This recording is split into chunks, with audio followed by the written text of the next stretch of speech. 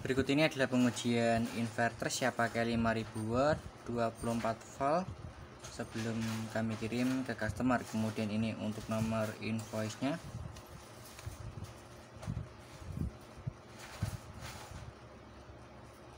Ya langsung saja kita uji di sini sebelum saya uji menggunakan beban saya akan menunjukkan untuk cara setting dari LVD digital ini atau battery control ini ya langsung saja kita nyalakan inverternya terlebih dahulu.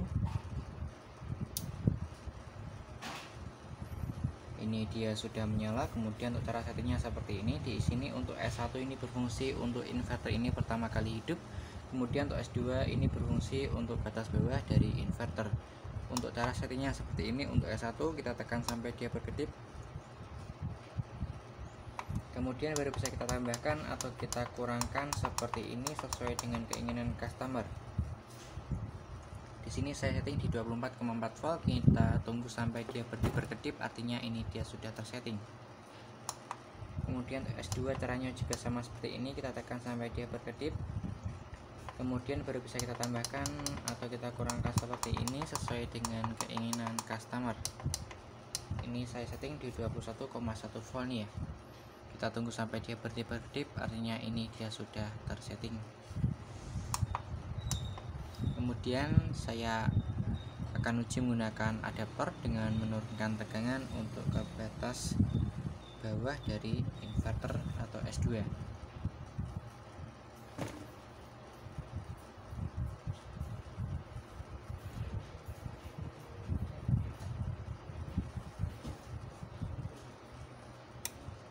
setelah saya turunkan tegangan otomatis inverter proteksi off ini ya kemudian saya akan naikkan tegangan untuk KS1 atau inverter ini pertama kali hidup